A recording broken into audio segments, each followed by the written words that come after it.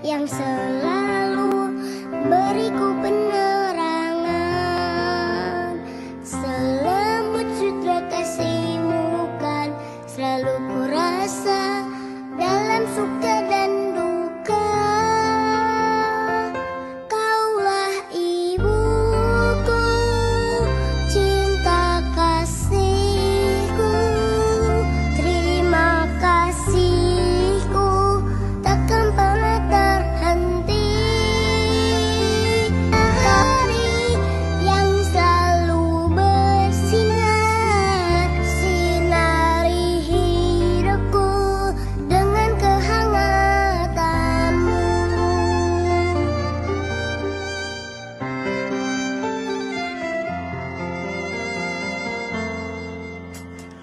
Bagaikan embun kau sejukkan hati kasihku Terima kasihku.